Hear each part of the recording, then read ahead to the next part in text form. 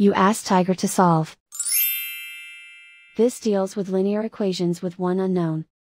The final result is x equals negative 13 over 90. Let's solve it step by step. Group all x terms on the left side of the equation.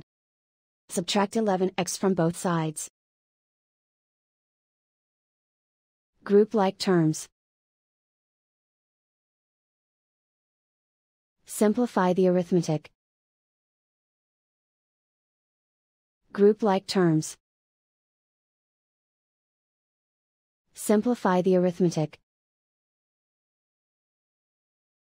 Group all constants on the right side of the equation. Add 8 over 3 to both sides. Combine the fractions.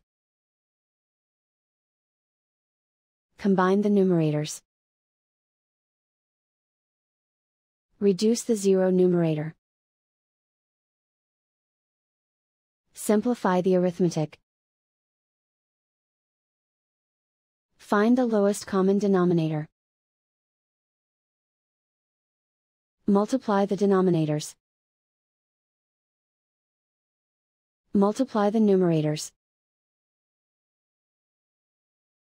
Combine the fractions. Combine the numerators.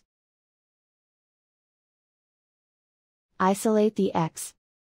Divide both sides by negative 6. Cancel out the negatives.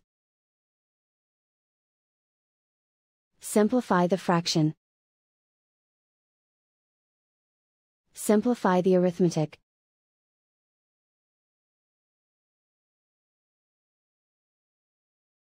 And so the final result is x equals negative 13 over 90.